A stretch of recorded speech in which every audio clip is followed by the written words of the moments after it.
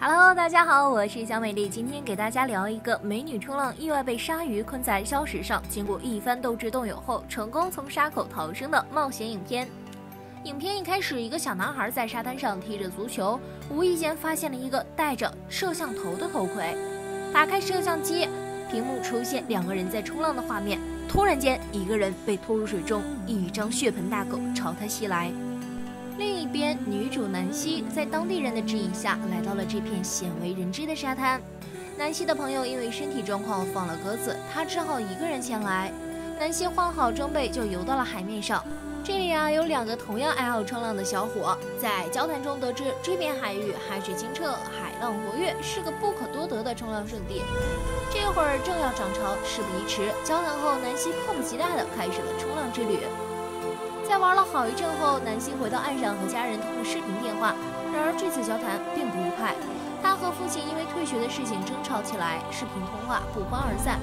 郁闷的南希打算来到海边，打算再次下海冲浪。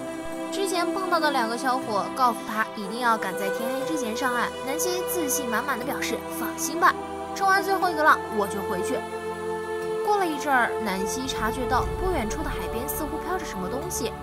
靠近后查看，发现是一只死掉的鲸鱼，身上的伤口在源源不断的流血，空中盘旋着各种海鸟，啃食着它的尸体。而此时的南希也意识到了危险，他立刻爬到冲浪板上，打算趁着巨浪回到岸边。可隐藏在巨浪下的鲨鱼撞翻了他的冲浪板，南希腿部严重受伤，血流不止，离岸边还有相当远的距离。于是南希只能拼命地游到了鲸鱼的尸体上。南希拼命地朝岸上的人呼喊求救，但是距离太远，他们根本无法听到，只能眼睁睁地看着二人驾车离去。此时，鲨鱼一直徘徊在鲸鱼尸体周围，等待机会吃掉南希。看来此地不宜久留。过了一会儿，潮水开始慢慢退去，海边上露出了一个礁石。南希看准时机，在鲨鱼撞翻鲸鱼之前，游到了露出水面的暗礁上。南希的伤口由于刚才剧烈的运动不断充血，她用耳环和针织品忍着剧痛将伤口缝合了起来，并把衣服的袖子扯下来包住伤口。随着夜色慢慢降临，南希只能尽可能的减少运动，保持热量。等到第二天日出，再向路人求救。隐约中，南希看到岸边趴着一个醉汉，便大声呼救。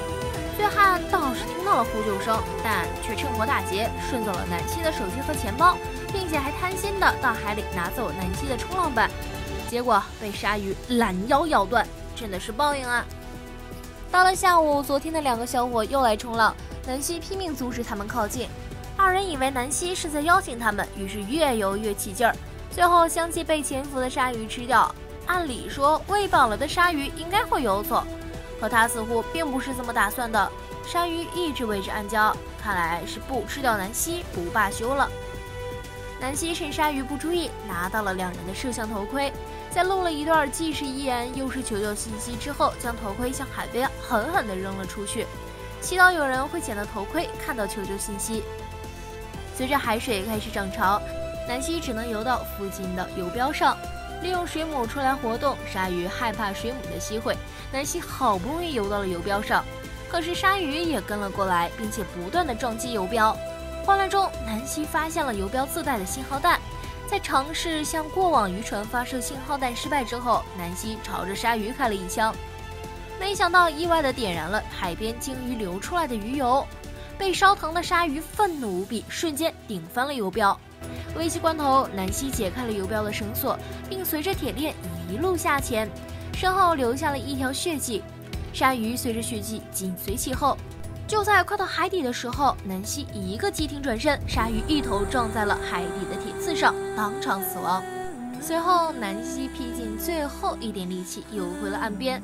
影片开头捡到头盔的小男孩带着父亲救下了奄奄一息的南希。故事的最后，顺利完成学业的南希再次来到了那片海滩，腿上还留着被鲨鱼袭击的伤痕。面对曾经差点让他丧命的海滩，南希依然没有选择退缩。没想到这条穷凶极恶的鲨鱼啊，碰上了一个更加执着不服输的美女。影片到这里就结束了。好啦，今天的节目就。